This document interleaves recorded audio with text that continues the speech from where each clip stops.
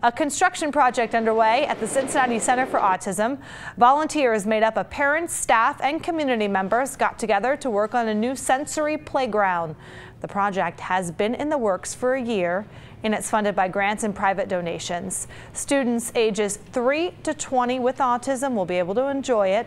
And the playground is expected to be finished by Wednesday. A formal dedication is planned for noon.